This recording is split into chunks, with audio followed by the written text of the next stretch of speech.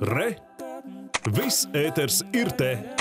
Nu, ko, bet tā, tuvākajās nedēļās rīt panorāmā mēs stāstīsim par dažādiem Latvijā izplatītiem krāpšanas veidiem. Un pirmais temats ir veltīts ieguldījumiem akcijās, obligācijās un kriptovalūtās. Jā, kā parasti krāpnieki, kas uzdodas par speciālistiem vai brokeriem, ievilina cilvēku savos slazdos, kā tiek zaudēta nauda arī tad, kad apkrāptais ir sapratis, ka finanšu līdzekļi ir izkrāpti.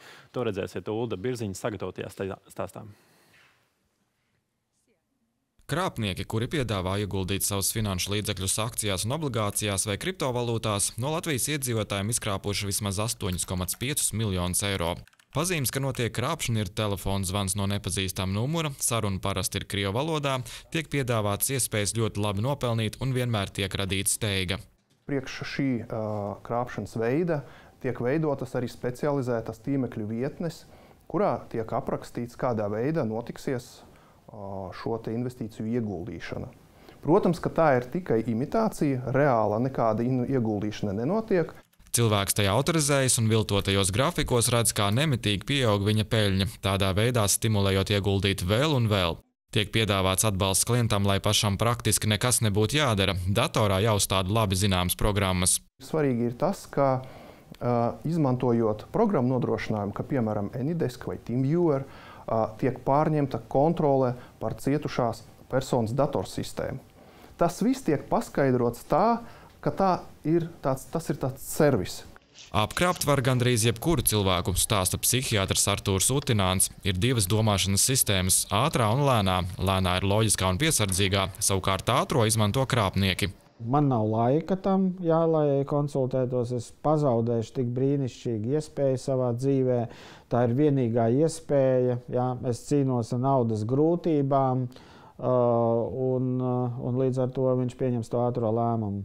Krāpnieki bieži vien argumentē, šādas investīcijas ir moderna pieeja, visi tā dara, bankas nekad jums neko tādu nepiedāvās. Krāpnieku saziņa ar klientu notiek vairāku mēnešu garumā, var sākt ieguldīt ar mazām summām, bet ja peļņa aug, tad var arī aizņemties vai pārdot savus īpašumus, lai nopelnītu vēl vairāk. Nevar nopelnīt vairāk nekā tirgū ir iespējams. Ja? Tas nozīmē, ja tev kāds sola, ka normāla investīcija būtu ar atdevi 10-15%, un tu uzskati, ka tas ir nekam nederīgs lielums, un tad tev atnāk kāds un saka, hei, pie manis var nopelnīt 300%, un parasti ir tā frāze, ja bankas tev šo nekad neteiks, jo viņiem skauž, ka mēs mākam. Problēmas parasti sākās brīdī, kad klients naudu vēlas izņemt. Gudrākie krāpnieki daļu naudas atskaita atpakaļ, tādējādi iegūstot uzticību tālākiem darījumiem, bet citu uzreiz atrod atrunas, kāpēc šobrīd nauda nav pieejama.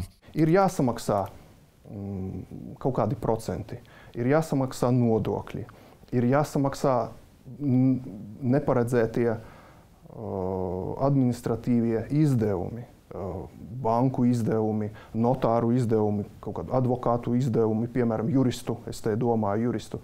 Kad cilvēks ir sapratis, ka tiek apkrāpts, viņu nerad apzog vēlreiz. Ar klientu sazinās it kā parāda piedzinēji, kuri sola par samaksu palīdzēt atgūt naudu. Var sazināties arī it kā kāda vērtspapīra finanšu iestāde vai Eiropas centrālās bankas pārstāvji, kuri pieprasa samaksāt nodokļus, un cilvēks izmisumā maksā. Vienmēr var pārbaudīt vietējā regulātorā, vai šādai investīciju platformai uzņēmumam ir izņemta licence. Tā ir Finanšu kapitāla tirgus komisija. Mājaslapā ir visi investīciju brokeru pakalpojumu piedāvātāji uzņēmumi. Eksperti iesaka pirms iesaistīšanās šādos investīciju darījumos visu darīt pārdomāti, bez steigas, konsultēties ar citiem. Ulds Birziņš, Igors Stāts, Uvs Burjāns, Latvijas televīzija.